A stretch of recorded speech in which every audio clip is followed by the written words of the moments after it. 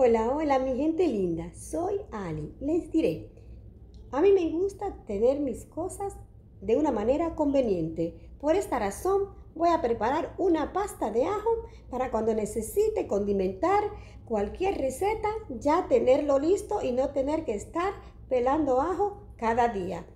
Le mostraré cómo yo preparo la pasta de ajo. Para preparar la pasta de ajo solo vamos a necesitar ajo crudo al cual ya le retiré la cáscara. También lo puedo obtener ya pelado. Voy a utilizar aceite de oliva y sal a gusto. Si desea, no coloque la sal. Y voy a necesitar un pote de vidrio donde voy a conservar la pasta de ajo. Esta pasta de ajo la voy a preparar en una licuadora. El modo de preparar es colocar el aceite de oliva en la licuadora. La cantidad depende de la cantidad que vaya a preparar de pasta de ajo. Le pone la pizca de sal. Si no desea sal, la puede omitir. Pero la sal también sirve de conservante.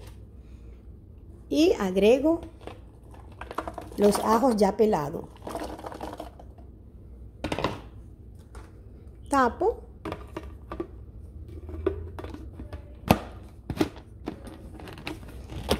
Y procedo a licuarlo.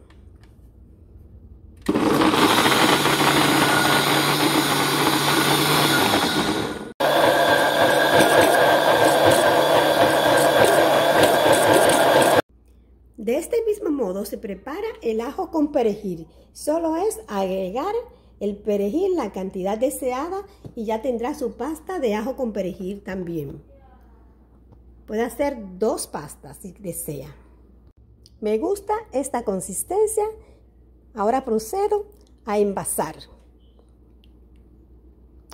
Esta pasta de ajo es muy durable. Puede durar hasta dos años.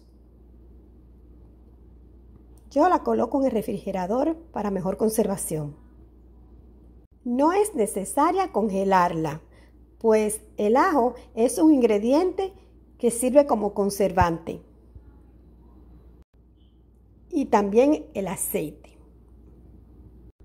Lo único que con el tiempo, al estar ya en contacto con el aire, va a cambiar de color, se va a poner un poco verdoso, pero eso es normal.